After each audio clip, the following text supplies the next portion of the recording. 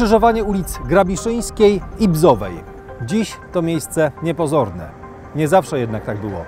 Przed II wojną światową w tym miejscu stała kamienica z główną bramą wjazdową osiedla Eichborngarten. Eichborngarten, czyli ogród Eichbornów. Tę nazwę modernistyczne osiedle zawdzięczało słynnej rodzinie pruskich bankierów, którzy w latach 20. XVIII wieku przybyli do Wrocławia i założyli tu firmę spedycyjną, a wkrótce potem bank. Jego siedziba aż do 1945 roku mieściła się w tym budynku na Placu Solnym.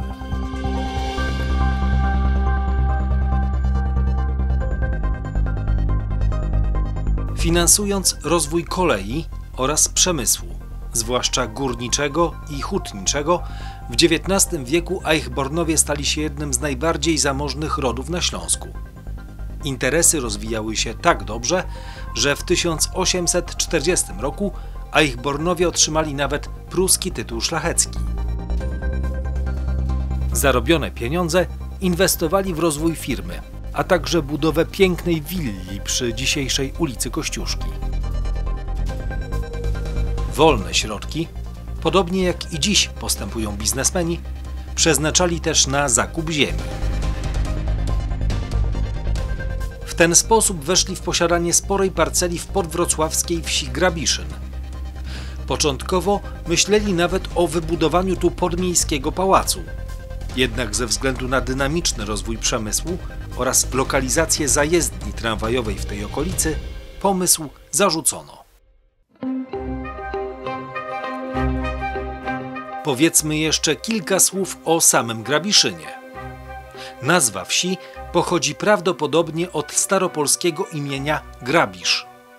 Historia osady sięga czasów piastowskich, a dokładniej drugiej połowy XII wieku. Wówczas to Palatyn, a więc zarządca dworu króla Bolesława Krzywoustego, Piotr Włostowic, przekazał wieś w posiadanie benedyktynom Styńca, których sprowadził do ufundowanego przez siebie opactwa świętego Wincentego na Łubinie. Co ciekawe, wieś była własnością kościoła aż do 30 października 1810 roku, to jest do ogłoszenia przez króla Prus Fryderyka Wilhelma III edyktu o włączeniu wszelkich dóbr duchowych do monarchii. W ten sposób Grabiszyn stał się własnością państwa pruskiego, którą szybko podzielono i sprzedano. Ostatecznie Grabiszyn przyłączono do Wrocławia 1 kwietnia 1911 roku. Niespełna 15 lat później rozpoczęto tu budowę nowego osiedla. To była nowoczesna kamienica za rozsądne pieniądze. Budynek ten łączył w sobie funkcje mieszkaniowe i usługowe. Jak powiedziałby dziś pośrednik w handlu nieruchomościami, na piętrach znajdowały się trzypokojowe apartamenty, a na dole kawiarnia i sklepy metalowy, spożywczy, warzywny czy kiosk z tytoniem. Pomysł budowy osiedla na Grabiszynie, podobnie jak innych wrocławskich osiedli modernistycznych, narodził się po zakończeniu I wojny światowej. Powód?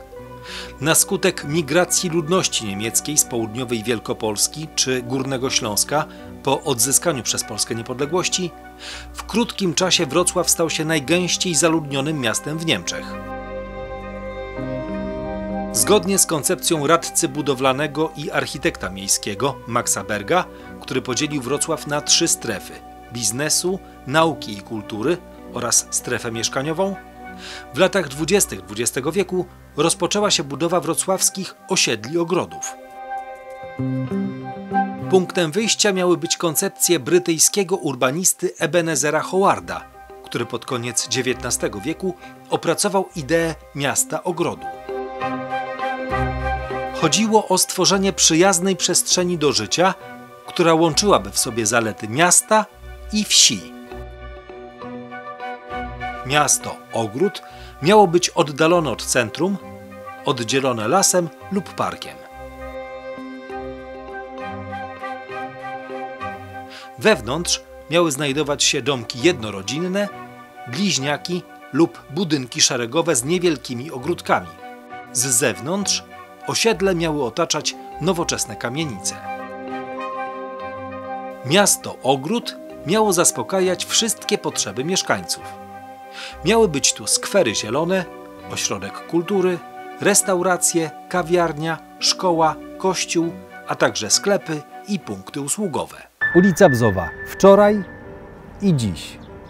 Mimo, że od zakończenia II wojny światowej minęło już blisko 80 lat, w tej okolicy wciąż znajdziemy pamiątki z tamtych czasów. W miejscu, w którym znajdowała się kiedyś kawiarnia Eichborngarten, dzisiaj odnajdziemy tylko gruz. Osiedle na Grabiszynie miało powstać na działce wykupionej od rodziny Eichbornów na terenie istniejących tam ogródków działkowych. Budową osiedla zajęła się powołana w tym celu spółdzielnia domków jednorodzinnych ogrodów Eichborna. Projekty domów opracowała dwójka architektów Paul Heim i Albert Kempter. Obaj panowie pochodzili ze Stuttgartu, gdzie studiowali w szkole rzemiosł budowlanych. Obaj polubili się do tego stopnia, że szybko zostali wspólnikami, współautorami projektów, a nawet szwagrami. W 1909 roku, po przeprowadzce do Wrocławia, Heim i Kempter rozpoczęli pracę w biurze radcy budowlanego Wrocławia Maxa Berga. Na początku lat 20. otrzymali zlecenie zaprojektowania kilku wrocławskich osiedli, m.in. Eichborngarten. Warunek był jeden. Domy miały być funkcjonalne i tanie. I takie były. Pierwsze budynki przy dzisiejszej ulicy Bzowej, która na początku nosiła jeszcze nazwę ulicy Eichborna, były domami w zabudowie bliźniaczej i szeregowej. Posadowione na niewielkiej działce, miały powierzchnię niespełna 60 m2. Dla mniej więcej 70-80 rodzin wzdłuż dzisiejszej ulicy Bzowej powstało niewiele ponad 20.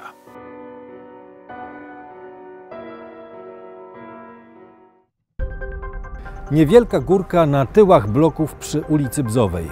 Zimą to ulubione miejsce zabaw dzieci z pobliskich domów. Za płotem zajezdnia, w której rodziła się wrocławska Solidarność, dziś centrum historii. Historia w tym miejscu rzeczywiście jest bardzo, bardzo bogata. Niewiele osób zdaje sobie sprawę z tego, że wzgórze to powstało z ruin dawnych budynków osiedla Eichborngarten. Według pierwotnych planów osiedle miały przecinać dwie główne drogi: Fliederweg i Fliederplatz, czyli dzisiejszy Plac Bzowy, oraz Hochwaldstrasse, czyli dzisiejsza ulica Inżynierska.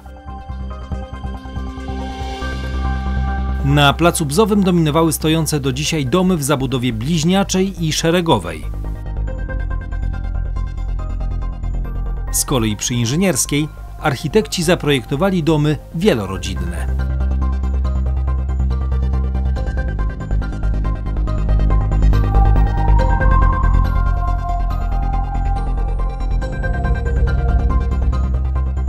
Wiadukt towarowej obwodnicy Wrocławia. Tu ulica Krucza przechodzi w ulicę Inżynierską. Ten obiekt zamykał granicę osiedla od wschodu. O tym, że lokalizacja ta nie była zbyt atrakcyjna, świadczy stojąca tuż obok mnie górka Pafawak. Dzisiaj to ulubione przez okolicznych mieszkańców miejsce spacerowe. Dawniej, na przełomie XIX i XX wieku, była to hałda popiołu i zwykłe wysypisko śmieci, podobnie jak wzgórze na wrocławskich Maślicach. Uważny widz zwrócił uwagę na czerwoną cegłę, z której wykonano filary wiaduktu. Właśnie z takiej samej cegły wybudowano wszystkie obiekty zamykające obszar dawnego osiedla Eichborngarten.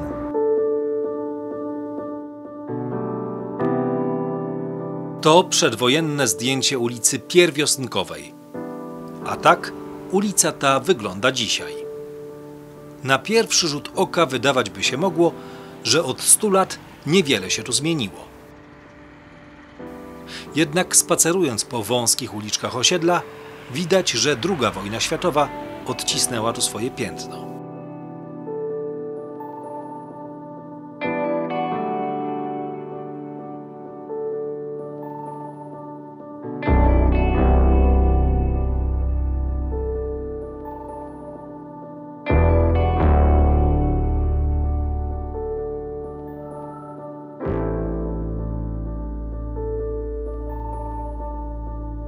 Przykładem może być ulica Narcyzowa, jedna z najkrótszych we Wrocławiu. Ma około 30 metrów długości. Dziś znajdują się tu dwa domy i przedszkole. Jednak według pierwotnych planów uliczka była dwukrotnie dłuższa, a jej kształt wyznaczało sześć budynków w zabudowie bliźniaczej i jeden budynek w zabudowie szeregowej, zamykający plac od zachodu. Zgodnie z założeniami koncepcji miasta ogrodu, każdy domek stał na niewielkiej działce, na której mieszkańcy mogli uprawiać warzywa i owoce, a także hodować zwierzęta. Charakterystyczne domy z czerwonej cegły. To właśnie one wyznaczały granice osiedla od południa.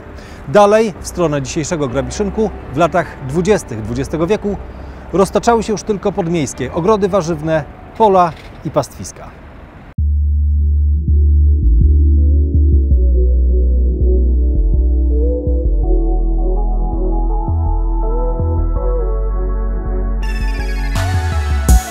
Aby dostrzec i zrozumieć przyjętą przez architektów koncepcję urbanistyczną i architektoniczną, warto spojrzeć na zdjęcia lotnicze z lat 20.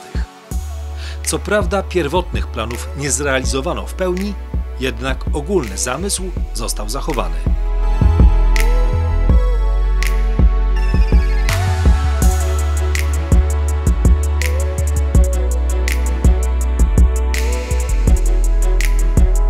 Spacerując aleją Hallera i podziwiając przedwojenną architekturę, warto zwrócić uwagę na detale architektoniczne umiejscowione nad wejściem do poszczególnych klatek schodowych.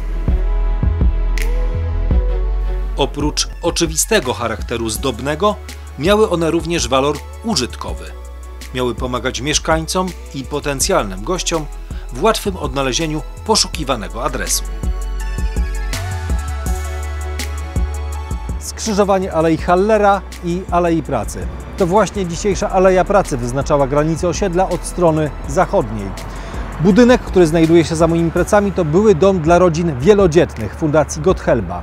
Budynek zaprojektował słynny wrocławski architekt Max Berg, ten sam, który zaprojektował jedną z ikon Wrocławia halę stulecia.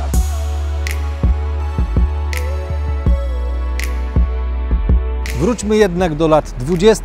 i 30. Wtedy Aleja Pracy nazywała się Rundstrasse i wzdłuż niej budowano domy dla biednych mieszkańców Wrocławia.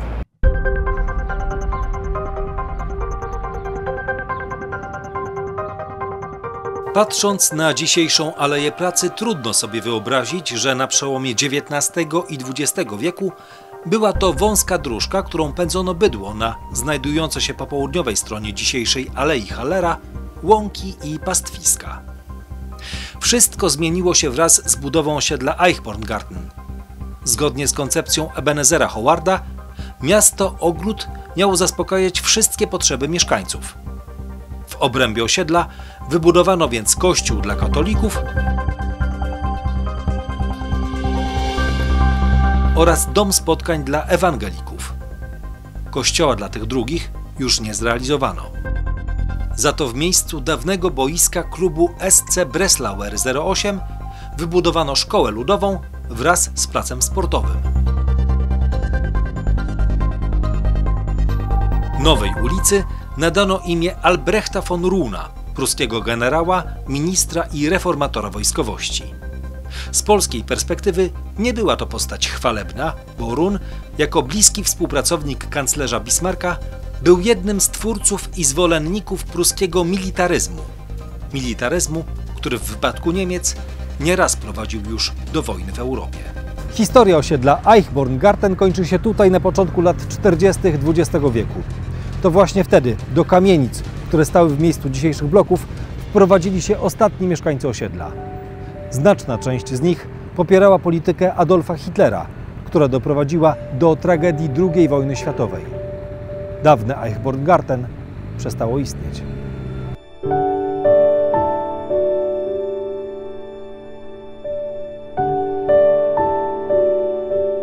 Te zdjęcia pokazują, jakie skutki dla małego osiedla i ponad 20 tysięcy jego mieszkańców miała II wojna światowa. Wiele domów po prostu przestało istnieć.